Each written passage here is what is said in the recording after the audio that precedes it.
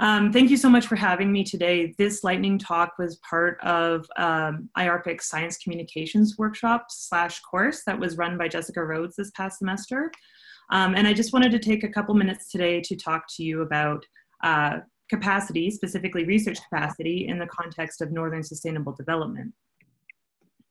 So we all know about sustainability and how uh, we look to the intersection between economy, society, and the biosphere and these have really become concepts that have become central to regional development.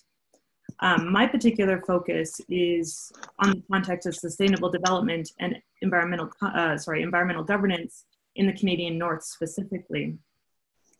Um, part of the regional development plans for the Canadian North have focused on processes like environmental impact assessment, um, which really depend on the interaction and collaboration between several different groups. So for example, on the right here, you can see a map of the traditional territories of Yukon First Nations. We have 14 different First Nations that are um, interacting and collaborating with the territorial government, the government, industry, academia, and also the public at large. And so we have a lot of interconnections and interactions happening kind of concurrently as part of that, they're also working towards this kind of collective vision of sustainable development. Unfortunately, sometimes their ability to uh, interact with the process and participate in the process fully is, full, is dependent on their capacity to actually participate. And this is not always equal, which means that sometimes the decisions that get made towards sustainable development can be lopsided, which means not fully addressing everybody's concerns all the time. And so the obvious solution would be to build more capacity, which is a pretty, seems like a simple solution. But before we can really build anything, there's a couple of obstacles that we need to overcome. My PhD works fo work focuses on these obstacles to a certain extent with some specific contextual aspects. The first obstacle that I look at is that the definition of capacity is something that still gets discussed both in development literature, uh, international development literature, sustainable development literature, but also gray literature. So in the Canadian North, there's been ongoing calls for Northern capacity building, but very little agreement on what kind of capacity, how it's meant to be built, and whose capacity should be built. So I, I focus on research capacity, which I choose to define as the ability of an actor, organization, or network to engage, produce, maintain, and use knowledge through individual and collective development. And so this intersects nicely with what uh, you folks are talking about in Davos. The second major obstacle that I see is that the role of research capacity in these particular processes, such as env environmental impact assessment, haven't been fully explored. So there's an unclear picture as to what the best approach is towards building that capacity, whose capacity, and how it should be built. So I wanted to step back for a second and kind of unpack that concept of capacity a little bit. I like to use the example of this guy who is building a table. He has a vision of what the table should look like. He has a plan for how he's going to get to that vision. But at the same time, he also needs to know uh, what materials he needs, what tools he needs, and then he also needs to know how to work with those tools and materials. This can be thought of as capacity, uh, competency or skill. And so there is one kind of aspect of capacity that is distinct from, say, the access to the tools and materials, which we think of as capability, or the resources in order to actually uh, fulfill the vision that you're trying to work towards. A great example within this example is that um, in this particular picture, he's using a hammer and a nail. Well, first he needs uh, a hammer, and he needs to know that the hammer is actually the most efficient tool for hammering. If he tries to use a screwdriver, he could also make that work, but it wouldn't be as efficient and as, um, well, pleasant of an experience for him. Uh, speaking from a personal experience as well. The other thought is that uh, capacities are also interacting inter and interlinked. So for example, governance capacity, which is the ability to make collective decisions benefits from research capacity, which is finding the right tools and knowledge and having access to that, but also having the ability to use that knowledge. So you folks just uh, are about to discuss um, the outcomes of the Observing Summit in Davos. And it was my understanding that you kind of discussed these main themes. And I thought for a second we could look at it in terms of a capacity lens, or first of all, a competency and capability lens. From my perspective, I can see that these themes um, are directly trying to address some competency and capability uh, gaps that may be uh, existing right now in, in terms of the observing system. For example, the data management uh, line item, second to the bottom there, is both a competency and a capacity because you need the infrastructure to be able to store and maintain data, but you also need the training and people who are able to maintain that storage facility. So there is a bit of a, um, a combination between the two that needs to happen. In a similar light, but also in a different light, these different competencies and capacity or eh, competencies and capabilities can be thought of as capacities in their own right. If we look back to the data management, we can see that that can be considered research capacity as a whole. So as you move forward in your discussions, I would encourage you to kind of think about um, not only how you need both money and training, but you also need money and training at different levels. So you need it for researchers, but if you're involving communities, you also need to think about these components at the community level, making sure they have enough people, enough people with training, enough people with access to the different kinds of knowledge that you need to make an efficient and um, an efficient and successful network. Um, one of my favorite quotes that I've found is that capacity building kind of occupies this netherworld between individual training and national development. And so there's a scalar thinking that needs to come into any planning in order for it to be successful. Uh, and with that, I would really like to thank you for your attention and for the opportunity to speak to you and for the opportunity to participate in the science communications uh, course. Thanks so much.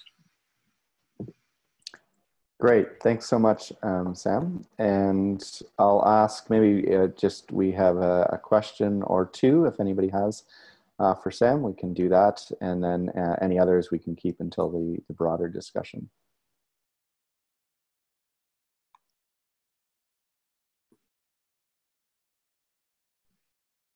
Okay. Well, let's, if you do have anything that you'd like to ask Sam, I believe she'll be staying on the call, so we can do that during the broader discussion. Um, now I just open up the floor. Uh, at this point in time, we do a general um, member updates, so this doesn't necessarily have to be related to the Arctic Observing Summit, can be anything related to Arctic observing or, or data. Um, if people have any sort of updates, activities that they're working on, or, or other things, just uh, a short, uh, maybe 30 second or one minute update. Peter, this is Roberto. I have a quick update. Great, thanks, Roberto.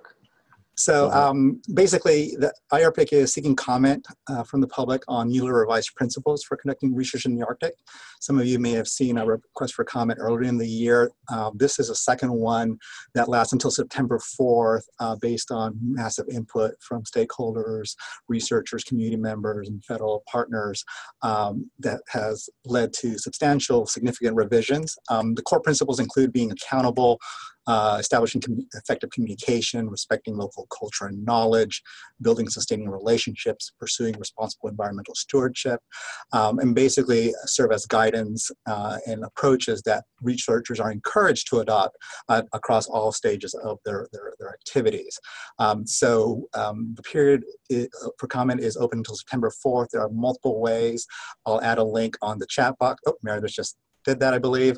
Um, and basically, you know, find the best way for you. There is an email alias, IARPC principles at nsf.gov. There's a Facebook page. There's the IARPC collaborations page, federal register notice, several upcoming meetings, including the Alaska Eskimo Whaling Commission, where we'll have representatives take input.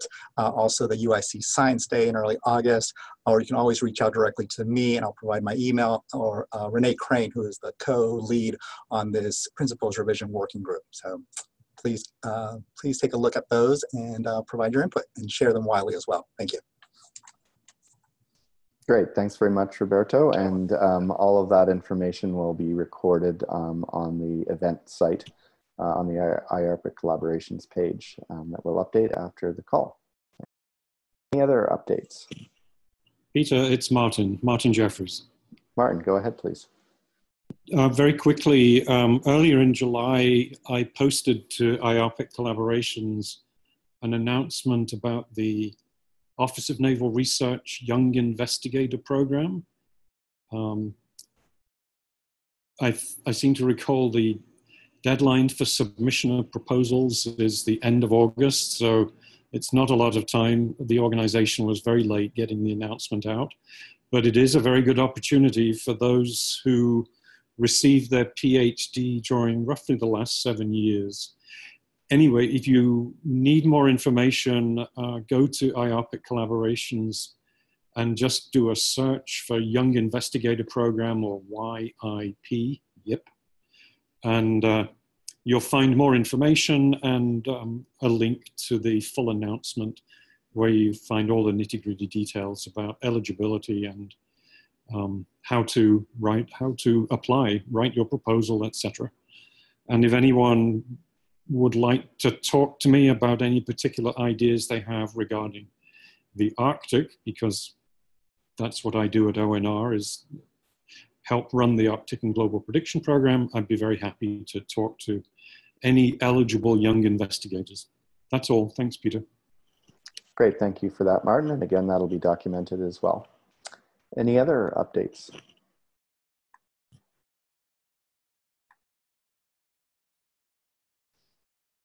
Okay, well, we'll leave it there. And if we do have time and people think of something, we can try and come back to that later. Um, so with that, I'm going to uh, move on to agenda item three and uh, the lightning readouts from the Arctic Observing Summit. And we'll start off with the benefit, benefits frameworks grouping, uh, working group sorry. And I don't have the uh, person who's reporting on that, but I assume you know who you are. So if you could um, start with your lightning talk. I think that's me, unless Sam has miraculously joined the call. Sam, are you on the call? That doesn't look like Sam is on the call. Okay, um, sorry everyone. I was asked at the very last minute if I could do a readout, and um, unfortunately, I was not a rapporteur and was not um, actually in the entirety of this working group. But so what I'll do instead of really giving a, a formal readout is just to share um, a general sense of, of what we discussed. Um, and then I think Sandy can probably point people towards additional resources if you have um, interest in further clarification or further detail. So Noor, just before you continue, can you just uh, introduce yourself for people on the call? I will. Thank you, Peter. Uh, my name is Noor Johnson, and I am a research scientist with um, the National Snow and Ice Data Center at the University of Colorado Boulder. So, and I, I had the pleasure of participating in Working Group One with the Arctic Observing Summit. And our group was looking at societal benefits over the short, medium, and long term perspectives and we had, in particular, some contributions um, and sharing of examples from groups who have been looking at strategies and examples for observations that are guided by assessment, prioritization frameworks. Um, and in particular, we had presentations that were linked to um, the uh, use of value tree analysis and intervention logic um, linking to the Sendai framework, and then several that looked at the UN Sustainable Development Goals. And so we had, in particular, um, a lot of discussion and sharing from the WMO, and they talked, um, they, they brought in um, someone to share, in particular, the example of the, the Polar View application as something where a fair amount of effort has been invested in um, linking observations and making them shareable and relevant down to the community level. So, working with Indigenous communities, in particular in um, Greenland and in Canada. And then we had as well a fair amount of discussion about the the IMOBAR project, which is um, shorthand for Impact Assessment on a Long-Term Investment on Arctic Observations. And this was a study that the European Commission funded that used um, the value tree framework methodology as well as intervention logic. And it was a very large study. They had they actually had 10 case studies and they developed value trees for all of them and so our group spent a fair amount of time learning about that approach. And um, I think that was sort of held up as an example of a particular effort to understand um, and document and to a certain extent quantify the societal benefits of Arctic observing. And then we had some discussion about the, the sustainable development goals.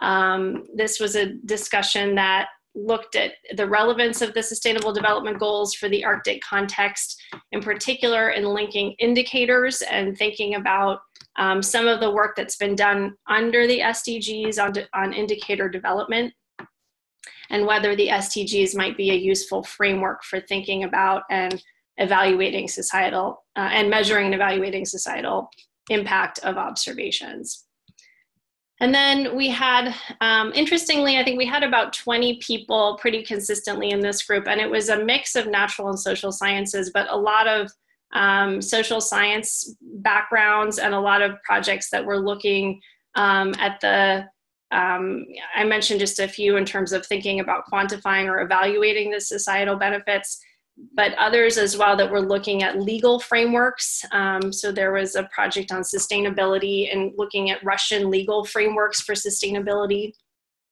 We had um, a project called the that was also based in Russia, looking at was called the basin concept. So it was an integrated approach to finding consensus between natural and social sciences, um, looking in particular at at um, Arctic Ocean levels, um, seas, and freshwater resources.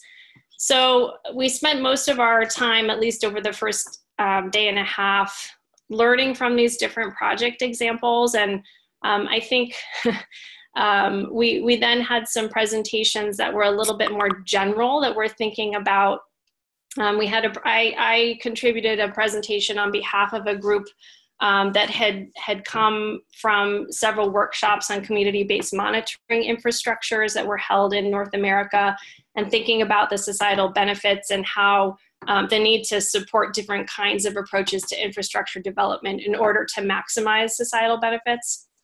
Um, and then we also had a, a, contribution from the Inuit Circumpolar Council and the work that they have done. Um, and I'm sorry, I'm just looking for this um, the notes from that particular piece, but um, the work that they have done um, in the um, the Poli- the Northwater Polynya.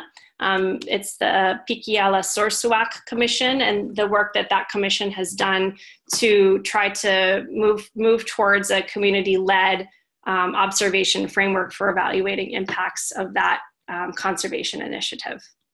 So I um, what I can't really report on is um, what was what came out of this working group and what fed into the final product of the AOS. And I know um, Hajo Eicken is on the call. He may be able to speak to that, or others may be able to speak to that. But I, I think that the um, the main point that uh, we were discussing was just the importance of continuing to invest in um, these different kinds of approaches to really understand and deepen and, and monitor and evaluate the societal benefits and societal impacts. Um, so wanting to work with the large initiatives that have already been developed, but also encourage other efforts and other methodological approaches to understanding societal benefit. So that's what I that's that's what I can offer from my impressions of that group. Great, thank you, Nora. Um, what I'll ask is that people store their questions and save them, and we'll bring them all forward at the uh, the broader discussion period um, after the, the um, reports. Um, so with that, I'm going to invite Alice Bradley of Williams College to uh, report on um, working group two. Thanks. Um, and I'm going to see if I could share my screen briefly.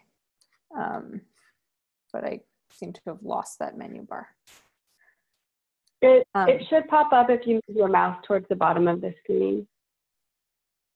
Uh, there we go. Thanks.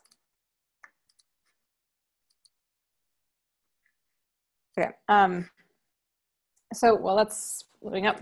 Um, so the theme two um, was was the optimization of observing system theme, um, and the kind of overarching goal for the group was to look at the concept of optimizing observing systems within the framework of linking um, societal benefit areas and users um, through kind of the hierarchy of the observing system down to individual sensors and types of sensors and networks.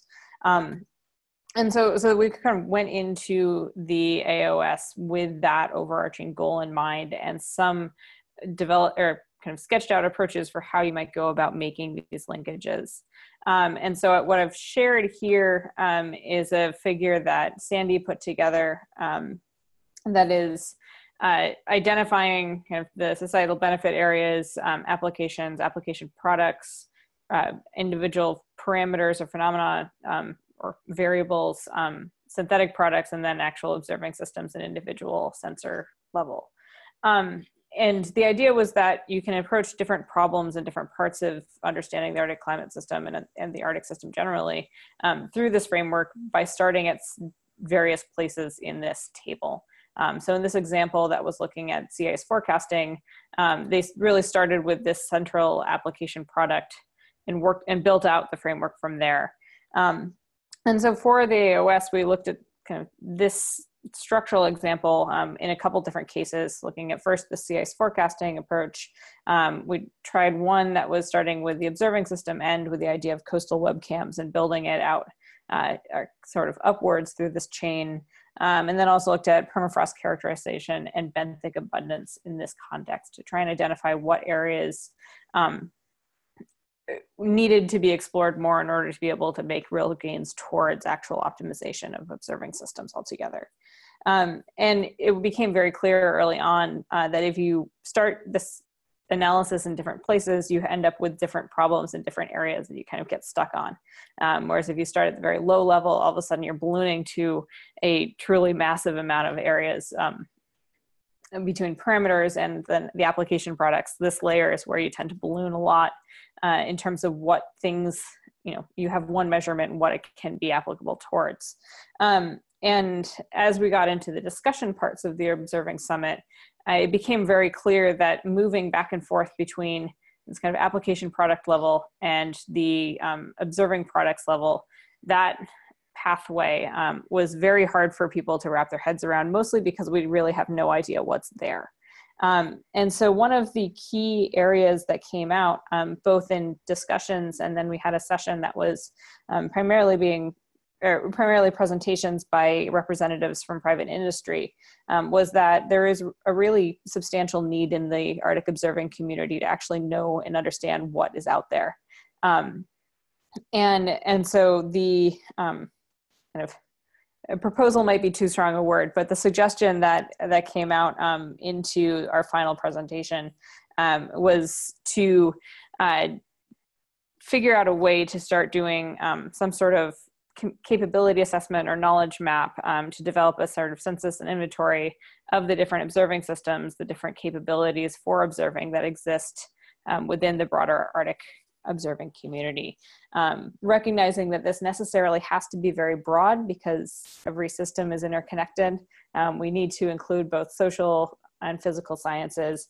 Um, we need to absolutely make sure that there is Indigenous knowledge represented at the table and make sure that they're representatives of the Indigenous communities.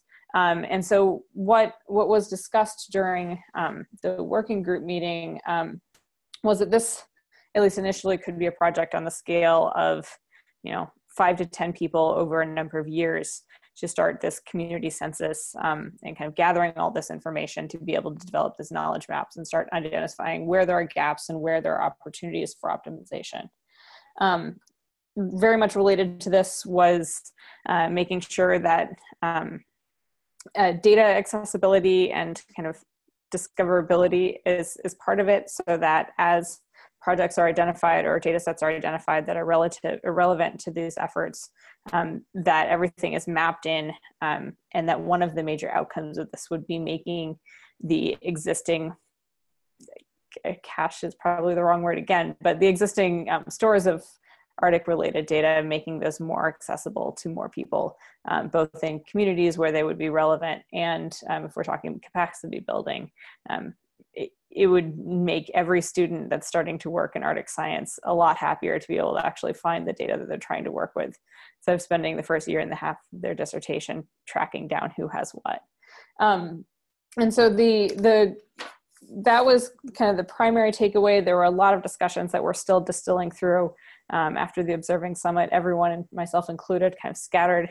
Um, and so we're just getting back to the 20 pages of notes to really boil things down at this point. Um, but Hajo, I know you're on the call. If you want to add anything to my summary, please feel free to do so.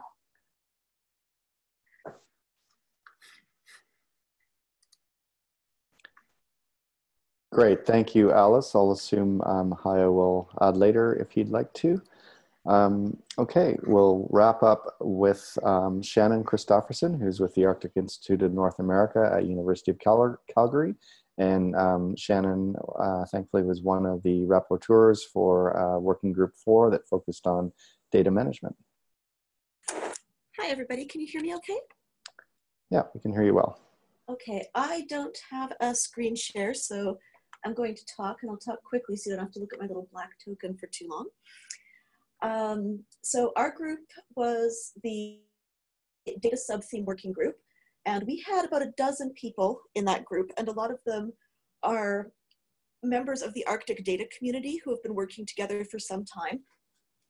And so our group approach was to build on existing work developed during previous meetings, most recently the Polar Data Planning Summit, which was held in Colorado in May.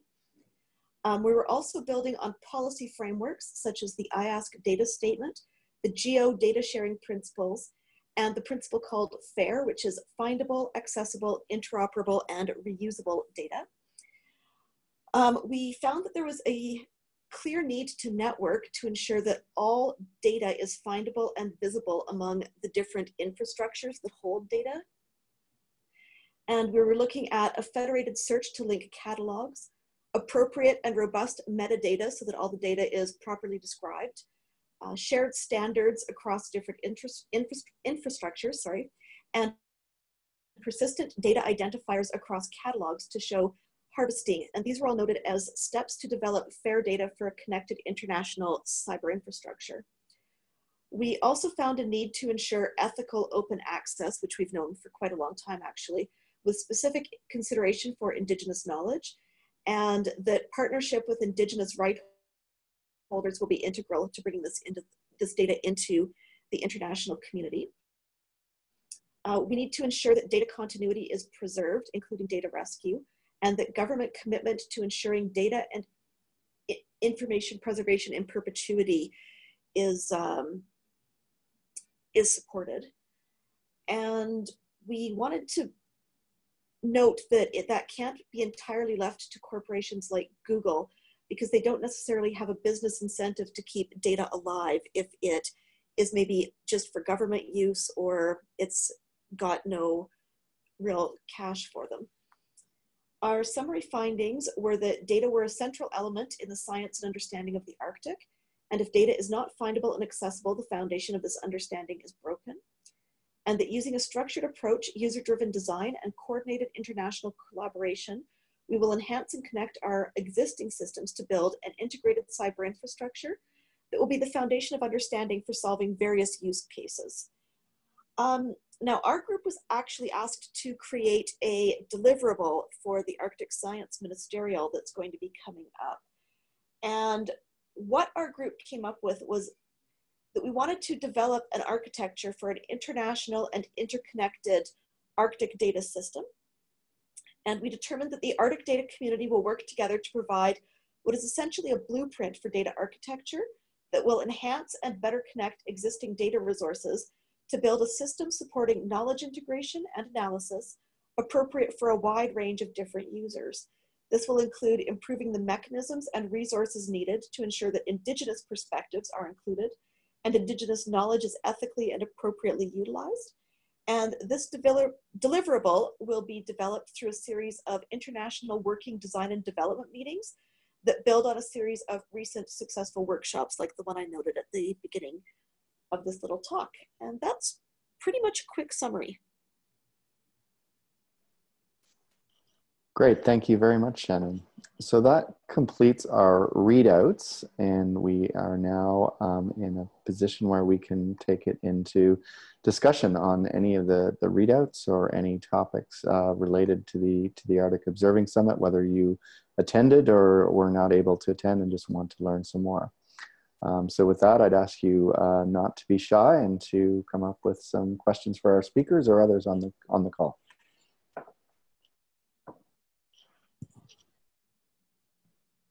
Okay, I'll, um, I'll start. This is um, Will Ambrose. I'm interested in, um, in the, the Group 2 uh, report. Um, and I'm, I'm wondering, and I realize the, report and the readout hasn't been presented yet, but um, Alice, some of what you ground you went over is, is material that um, has been in the winds since the Observing Summit two years ago in Fairbanks and has actually been the topic of discussion in the intervening period. And there are international groups actually working on just those issues. For example, um, Intaros, um, a um, EU-funded project, and uh, PolarNet. Um, were those representatives there? Um, that, that's sort of an, an, aside, but I'm, I'm more interested in sort of what's the plan because I mean, there's no doubt that we need a gap analysis. There's no doubt that we need an inventory. And these other groups are actually working on that. So um, to the extent that they are, was there discussion of, of integrating um, their efforts um, because from your readout, and I don't mean to be critical, but I will, um, I, I don't see that that has moved um, the discussion very far forward from where we have been over the last two years. Yes, there, there were representatives from Intaros, EU PolarNet, um, and others who have been working on similar similar approaches. Um, there's somebody I'm forgetting her name at the moment, but it was from NOAA uh, and, and had been involved in a big project that it was identifying data availability within the US um, and with, within kind of the data, NOAA system. Um, and so the, these were actually some of the leading voices in the uh, push to make something happen at a more international scale. Um, so Intaros is, is a very big project. It's very international, but it is still EU focused. Um, and it's a little bit limited in terms of the scope in of uh, what types of things it's considering. It's very much focused on the um, uh, on the uh, station data and and other kind of it, it, there. Just to say that there are some limits to Intaros' scope, um, and so the the what was discussed um, at this working group meeting, and I will say this that it was the last 20 minutes of our discussion, and so things were a little bit rushed at that point, um, and we haven't been able to get everyone back on a call since then. Um, was the possibility of giving this as a task to SAON, recognizing that they would need to have the funding um, to be able to support the man hours to actually get this done um, but to be able to kind of integrate some of these international efforts into a more coherent global approach, recognizing that it is such an international um, world that we're working in that we do really have to do this from an international perspective. Okay, good. So there was some sort of plan. I'll say, um, putting on my SAON hat, that this has been discussed at, at SAON, and I think we reached the same conclusions that you did, was that it's a, a huge task, uh, which would require, you know, significant funding in the terms of um, you know FTEs to actually accomplish that. So I, you know, I wasn't really expecting to see a solution here, um, and it, it, certainly sounds like you, you know, you. You've got a plan, but I, I get frustrated because we have identified this as a problem, you know, for several years, and um, I, I don't see it moving forward. And it sort of was in SAON's court, and then we kind of, you know, kicked it out of there, and um, it was sort of one of the foci of the Arctic Ministerial, the last one, and um, and I, I, I, don't, other than these efforts by EU PolarNet and Intaros, um, which, as you point out, are you know uh, limited in, in scope to some extent. I, I don't see a concerted effort to solving a problem which has been recognized for a couple of years at least. Yeah, I think it's definitely an ongoing issue is identifying who and what is in a position to be able to start implementing a solution. Um, I think there's there's no limit to how much scientists can talk to each other about how this needs to be done, um, but figuring out actually what the mechanism to make it happen is is I think the the keystone issue at this point.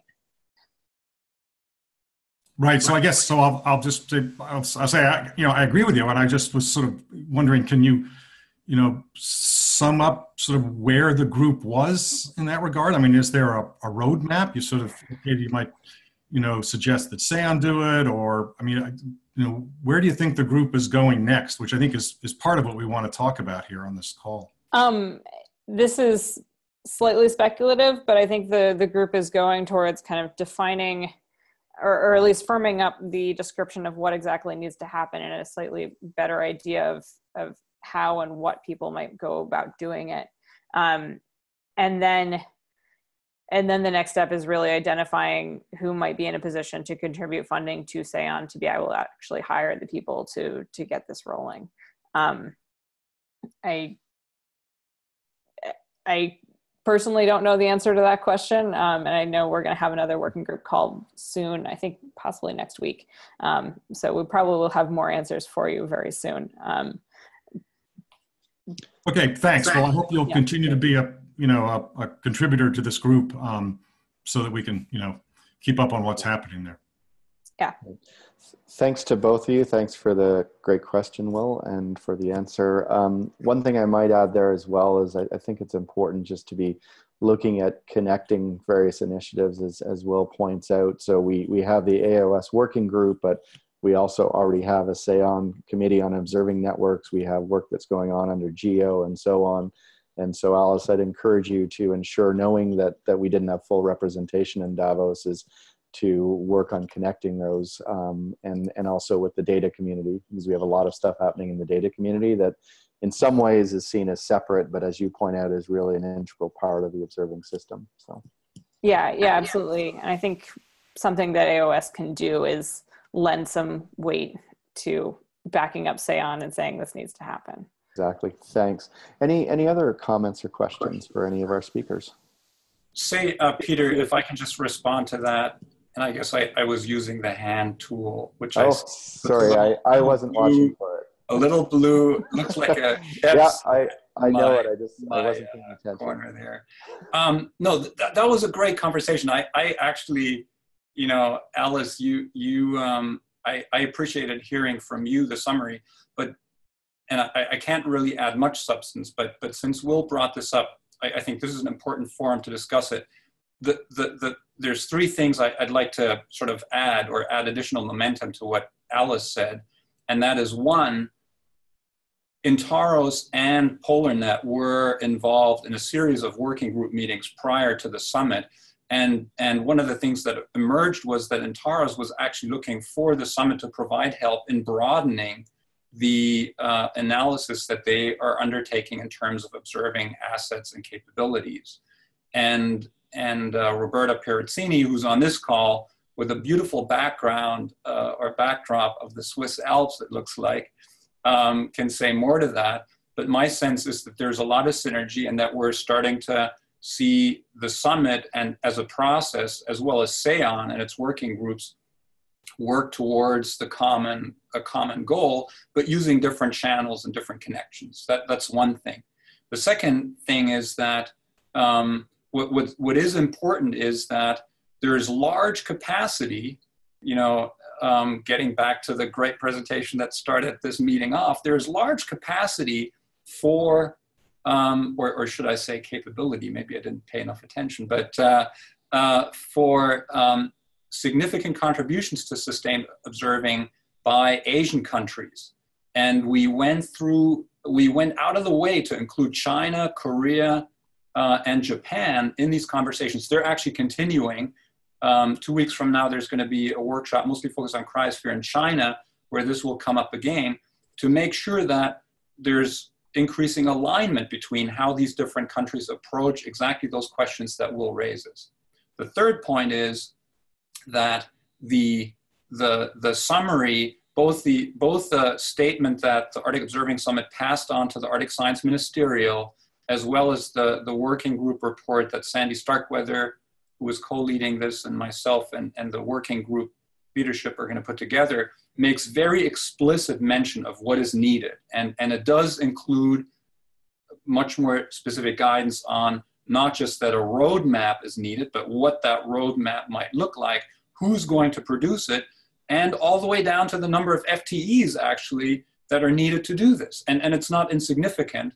And, and what, what needs to happen now is, is that all of us who are in agreement that this is something that needs to be pursued, um, and, and we'll be sure to share all of these documents as, as soon as they become available, is to inject that at, at whatever level we can into the conversations at the Arctic Science Ministerial.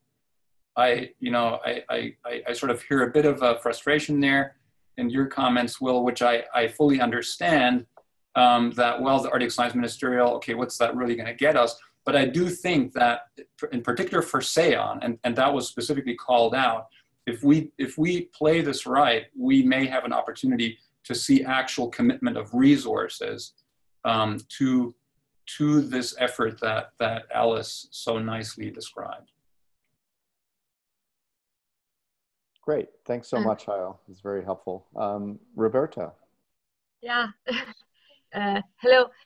Uh, do you hear me? We can hear you, yes. Yes. Um, if I can add something on behalf of Intaros. Um, yeah, so I'm Roberta Pirazzini from Finnish Meteorological Institute, and I was uh, participating in the working group too in the Arctic Observing Summit. And yes, so um, what was the Intaros contribution? So uh, Intaros has now the, um, the resources or has had the resources to um, do part of the gap analysis and assessment that we were speaking about. Uh, and uh, uh one of the aim is, although the, the focus was mostly European, but not only European, but mainly European, but the, uh, the um, uh, vision is to involve uh, also the Pan-Arctic uh, players in the assessment, in the gap analysis of the existing uh, observing system in the Arctic. And we have developed tools, we have created um, uh, uh, an, analysis tools to, to, to produce this gap analysis and assessment. And uh, we, we have opened recently questionnaire to, to um, outside Intaros, so to everybody. And um, well, if I can use this forum, this uh, uh, arena here to advertise a session in the in the coming um, mm, um, um, uh, AGU meeting in Washington, we will have a, a session there uh, on, um, actually the title is uh, Assessment, Enhancement and Integration of Arctic Observing System. Uh, this session, this session was um, initiated by uh, me and other Intaros colleagues uh, to present the, mainly to present the results of uh, of the Intaros assessment of the existing observing systems. Um, but um, uh, we are uh, inviting contribution from all those who have uh, components of the Arctic observing system or those who deal with uh, data collection in the Arctic to present um, assessment description of data and uh, um, um and issue also related to the data management uh, and the, um, the sustainability of their observing system. Uh, we, have, we want to address all aspects of the observing systems in this, in this session. We think it's a good forum to discuss about this. And um, we will uh, perhaps discuss next week uh, in uh, further, but um, one idea is also to have a side meeting to continue with the with the um, AOS working group too uh, during the uh, Washington um, uh, meeting, the AGU meeting. So um, yeah, that's all. Great. Thank you very much, Roberta. I note that uh, Bill Manley has a question or comment. Bill? Hi, uh, this is a very interesting conversation indeed. Uh, I'm with the Arctic Observing Viewer, and uh, I wanted to mention that, you know, um, uh, it seems great that there's growing uh, recognition of the need for gap analysis and mapping and inventory of existing networks and sites. And, and so there are some resources out there already, particularly Intaros, but also the Arctic Observing, Observing Viewer. And um, so I'd encourage you all to go there and check it out, arcticobservingviewer.org. And uh, this is an NSF uh, sponsored activity. Um, and there's uh, over 15,000 observing sites for the Arctic in the application, uh, something more than 20 networks. And you can get a sense of who's doing what where and where there are gaps and how we can optimize op opportunities with uh, links to data and you know, additional details about what sorts of observations are being made at each site. Um, so we've uh, we've been in touch a little bit with Intaros, but I can see uh, reaching out to them more. Um, a lot of it comes down to actually deciding on essentially what is a metadata standard for observing sites.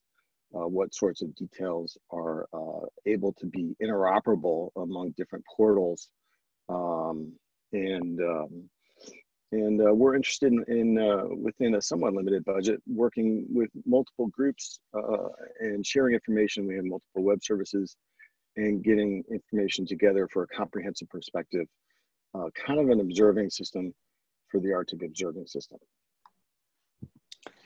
Thanks very much, Bill. That's a very useful comment. I think something we want to remember, given the urgency and the limited resources that we have, is always making sure we take a look for what exists.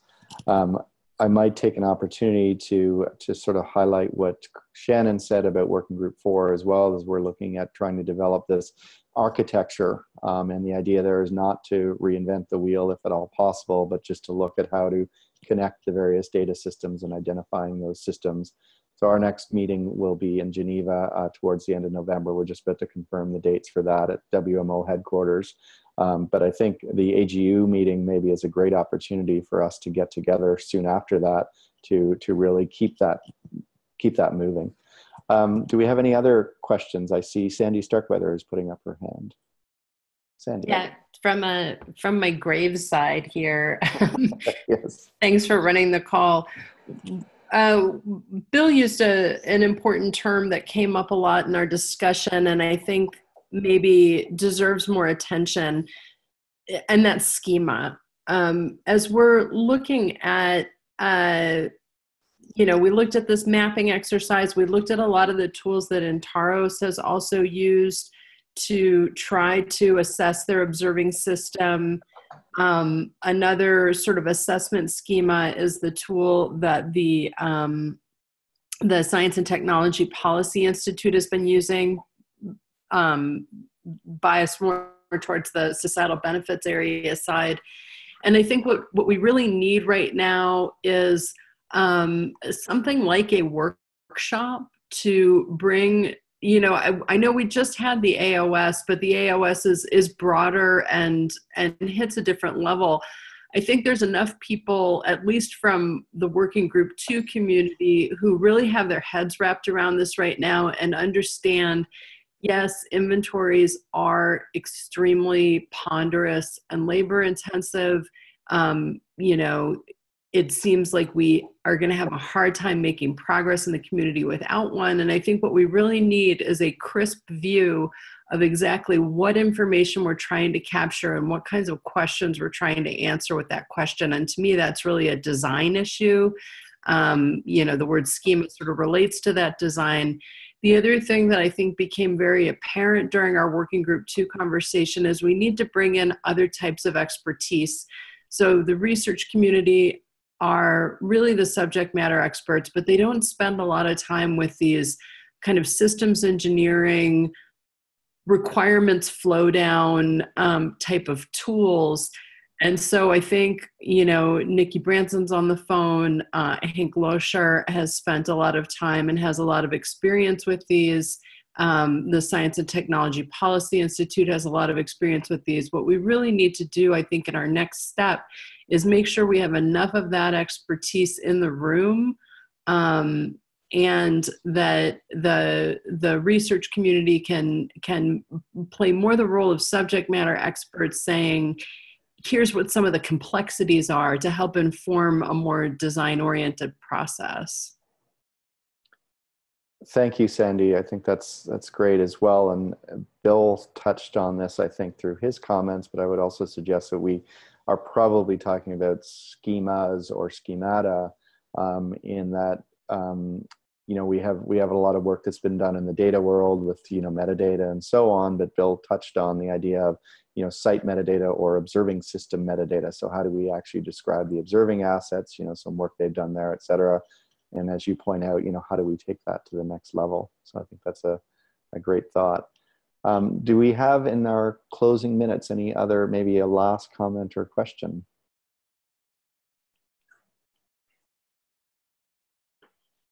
Okay um, one very brief comment I would make is is you know came up a lot in our data discussions, um, not only at AOS but many other meetings as well as this um, need and and I think uh, important aspect of it is connecting this outside of the Arctic observing community. So particularly with data, you know, establishing these these schemas and establishing interoperability and all that is not limited to the polar regions or the Arctic region.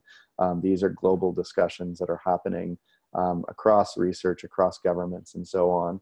And so, making sure that in those experts Sandy's refer refers to, that we're engaging those those global initiatives, um, so that we don't create, you know, a silo that we then have to engineer. How do we connect the those schemas into the global system. Um, so we we happily had a lot of participation at AOS um, from groups like GEO and Research Data Alliance and so on. So I think we're well on our way to that, but something maybe just to remember.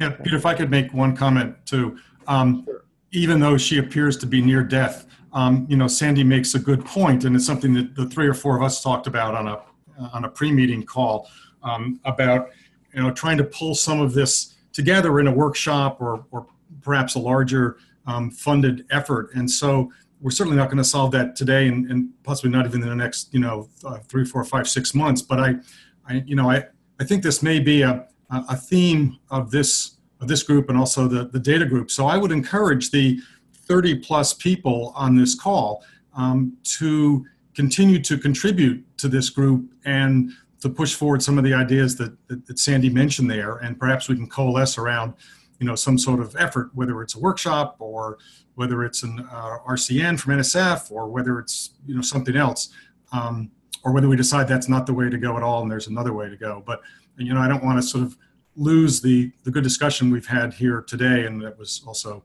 preceded by the discussion that three or four of us had. Um, as we go forward, I hope that the people who, some of who are new to these uh, to this call, um, will continue to ring in and, and we can move this forward. Great, thanks, Bill. And I, am just reading the chat here as well. And George Kling, I think, makes a really important point as well about um, engaging funding agencies in the continuity. And this certainly came up at AOS: is how do we create something that's sustainable, not simply sporadic, you know, workshops and so on, as as important as they are. Um, so we'll we'll record this comment that that you've made, George, and include that in the minutes because I think it's it's critical in thinking about how do we create a sustainable system and one that that we can keep following up on and, and keep the design alive. So um, with that, I am going to bring our meeting to a close. Um, I'll just